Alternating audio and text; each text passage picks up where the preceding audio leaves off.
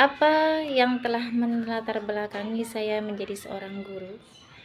Hal-hal yang melatar belakangi saya menjadi seorang guru adalah satu, saya sangat meneladani ayah saya dan ibu saya karena beliau memiliki profesi sebagai seorang guru ngaji dari sejak saya masih kecil.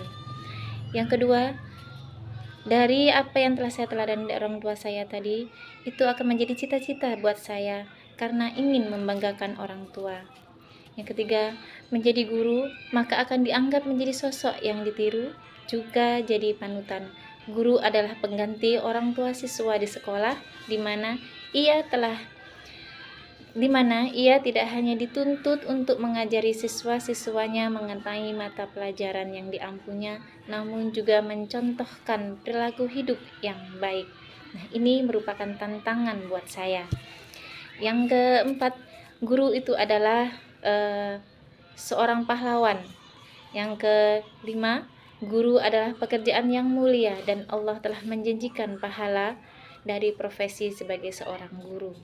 Yang keenam, profesi guru sangat membantu kita, dapat membantu kita masuk surga, tentunya dengan adanya ilmu ikhlas, karena dengan belajar dan mengamalkan ilmu menjadi salah satu amalan yang bisa dibawa mati dan membantu kita di alam barzah.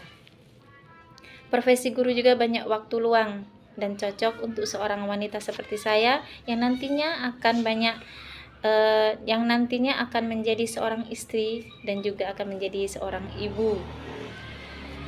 Nah, Itulah hal-hal yang melatar belakangi saya sehingga saya berkeinginan kuat untuk menjadi seorang guru. Jadilah guru, jadilah manusia yang bermanfaat bagi agama, nusa, bangsa, dan masyarakat. Sebagaimana sejak kecil itulah doa yang selalu diutarakan kedua orang tua kita, saudara-saudara kita saat kita berulang tahun. Mari cerdaskan anak bangsa.